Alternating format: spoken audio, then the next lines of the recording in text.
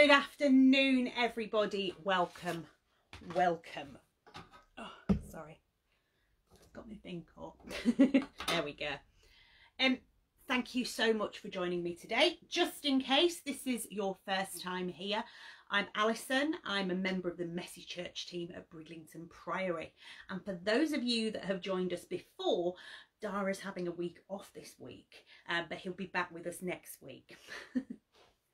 so today we're actually a bit behind because um, we are talking about something that we celebrated on Sunday, Easter Sunday, in fact. But we'll talk more about that shortly. First, here's a reminder about what's happening both online and at the Priory. So, Monday to Saturday, we have midday prayers. Hopefully, it won't surprise you that they're at midday, uh, led by members of the Priory community. And at 6 pm, Reverend Matthew leads evening prayers. The Priory is open for personal prayer on Wednesday and Saturday, 10am to 11am. On Sunday at 10.30, our service is both in person and online. And at 6pm is either a reflection or evensong online. This week, I believe, is a reflection with Reverend Christine. Reverend Maxine is running the Faithful and Friends group, which meets on Zoom for fellowship and prayer on Sunday, and that's between 4 and 5 pm if you'd like to join them, uh, you need to contact Reverend Maxine for the Zoom details. And as always, the contacts page from the Priory website is linked on the post that follows this broadcast on Facebook. Um, so do join us if you can for any of those. And don't forget if you would like a prayer rather prayers when I can speak for you a family member or friend uh, do let us know either by messaging the Facebook page or using the contact details on the Priory website. And uh, I do know because I've just seen it on Facebook as well that there is a book of condolence opened. Um, which the details for when you can sign that if you want to is on the Facebook page as well so you need to check that okay Wonderful. So let's have a moment to open our hearts and our minds as we get ready. Oh, Priory is open to sign the book of condolence in memory of HRH Prince Philip, RIP. Yes, thank you, Jan. I think that's you. Um, yes, I, I can't remember when it's open, but I know there is a post up that says when you can come and sign that. So it's there. The details are there if you want to check that out. Right, so we'll just have a moment now before we begin. Dear Lord, we thank you for our family and friends. We thank you that we can always talk to you. All we have to do is pray. We thank you for our time at Messy Church and we pray that we learn more about you through our story. Help us to remember to always listen to you and to try to do what you would want us to do. Thank you, Lord. We ask this in the name of your Son, Jesus Christ. Amen. So, last week, as we said, was Good Friday. And so we focused on what that meant. This week, we get to see what comes on Easter Sunday and why it's such a joyful day for us. But before I say any more, let's hear our story. Thank you, Tinkerbell. That's really kind.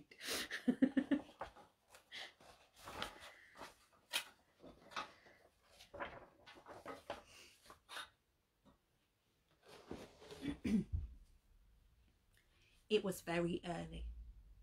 The birds were still in bed and the sun had yet to open his, its bright eye on the world. The sky was grey and grainy. The air was cold and three women walked slowly towards the graveyard. Jesus was buried there, and the women were coming to visit his grave. They talked in sad whispers. They cried. They held each other's hands. Jesus had been dead for three days, and they missed him very much. Just as they reached the graveyard, something surprising happened. the ground began to shake. The air began to tremble. And quick as lightning, an angel flashed down from heaven and rolled the stone away from Jesus' tomb. Everything went quiet. The ground stopped moving, but the women shook with fear. Don't be afraid, the angel said. Come and see. The tomb is empty. Jesus is alive. Arm in arm, the women crept past the angel and into the tomb. The sheets were still there, the sheets they had wrapped around his dead body. But Jesus himself was gone. Where is he? asked the women. What have you done with him? I told you, smiled the angel. He's not dead anymore. He's come back to life. And he wants you to tell all his friends. The women looked at each other. They didn't know whether to laugh or cry. They could hardly believe it. That is, until they hurried out of the tomb and ran straight into Jesus. Oh, Jesus, they cried, it's true. You are alive. And they fell at his feet, amazed. There's no need to be afraid anymore, he said. God has made everything all right. But I have a job for you. I want you to tell the rest of my friends that I am alive. Tell them I will meet them on the seashore in Galilee, where all our adventures started. The women waved goodbye and hurried off to Jerusalem. The birds were singing now. The sun's bright eye was wide open and they had the most amazing story to tell.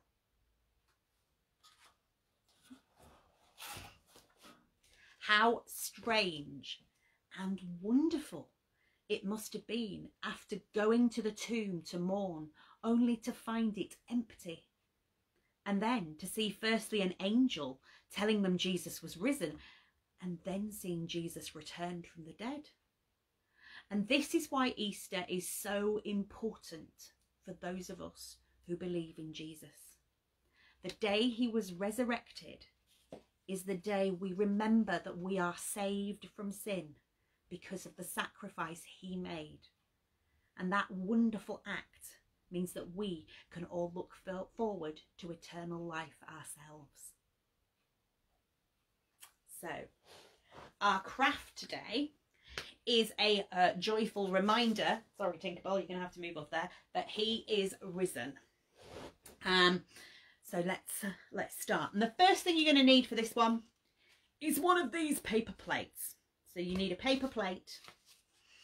And then what you're going to do with your paper plate is you are going to paint it. Now I know you may not have paints. If you've got a messy church bag, you will have had some paints in your messy church bag.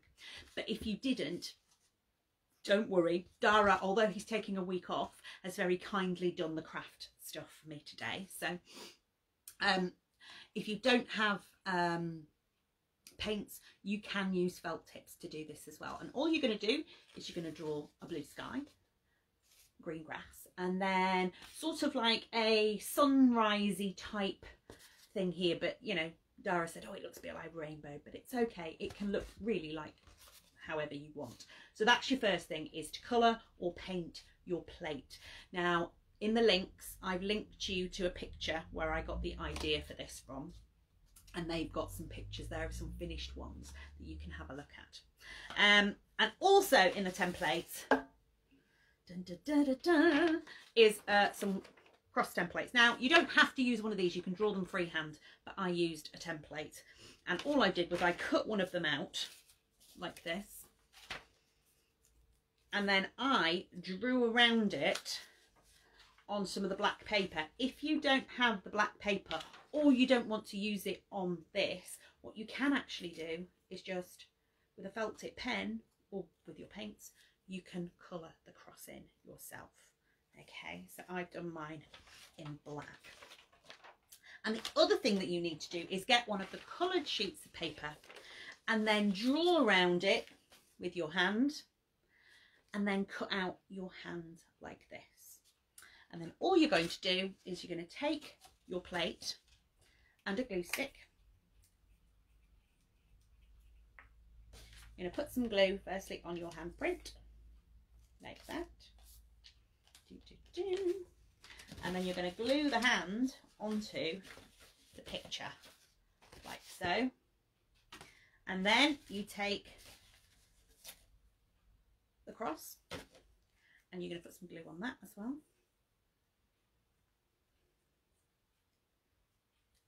And you are going to glue that over the handprint like that. And then with a pen, you are going to write on it. Well you can write on what you want but I've written on oops that's the wrong one. I've written on the one that Dara finished and you won't be able to see because it's backwards. It says he is risen indeed. But you can write on them whatever you want. So you end up with something that looks a bit like this. And these are great because you can simply put a bit of string through and hang them up or you can pop Blu Tack on them and stick them up if you want to um, or do whatever you want but they're just a lovely reminder of why we celebrate.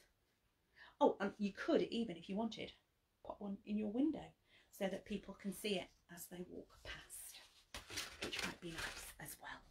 There we go. So it's a nice simple one that you can do at home. Wonderful. Um and of course, don't forget, we have our calendars as well. And uh, this one is week commencing 5th of April this week. And it's got the actual um, bit from Luke here. And it says, the women had been greeted by angels when they arrived at the tomb with the news that Jesus was alive. The other disciples did not believe him, though. Did not believe them, though. Peter ran to, che- ran to check, but all he could do all he could find were the strips of cloth that they had wrapped around the dead Jesus. They must all have been very frightened and disappointed, and this might be why the why two of them were heading home to Emmaus. Jesus joined them on the road. It's so tiny, is this writing? I need new glasses. Jesus joined them on the road and listened to their fear and confusion. He helped them to see how what had happened was all part of God's big rescue plan. Even though he showed so much wisdom and compassion, the, the disciples did not recognize their friend Jesus until he broke the bread like he had at the Last Supper. They ran back to Jerusalem to tell the others that the women had been right all along.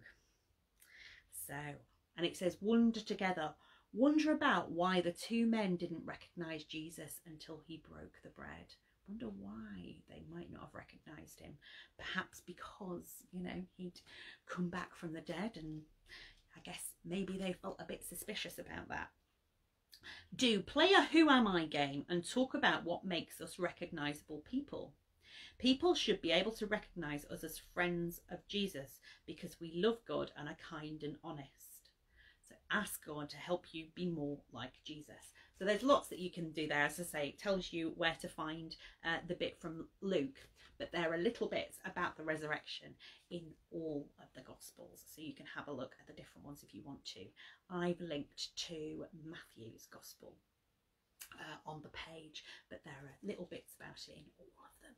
So you can have a look if you want to and see if you can find them in your Bible at home if you want to.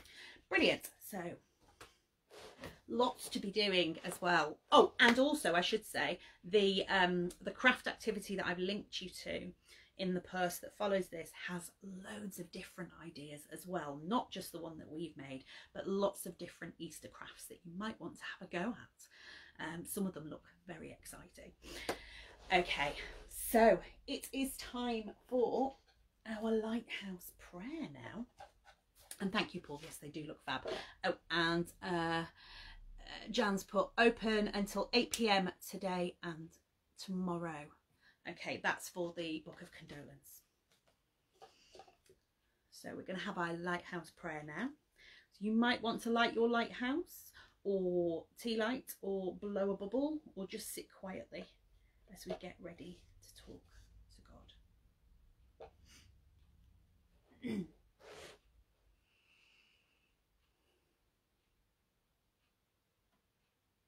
God made you and God made me. He made the world for us to see. God loves you and long ago he sent his son to tell us so. Jesus showed us many things to love and share and dance and sing, to learn and pray, to help and care. He promised he'd always be there. He died but then came back to life. Let's celebrate for he's alive. Amen. Lord Jesus, how can I ever repay you for what you've done? Thank you for paying the debt for my life. Thank you for erasing my sin and calling me your own. I am no longer a slave to sin or in debt. I am a child of God. In Jesus' name, Amen. Thank you so much for joining me today. Dara will be back with us uh, next Friday. Have a wonderful, wonderful week and God bless.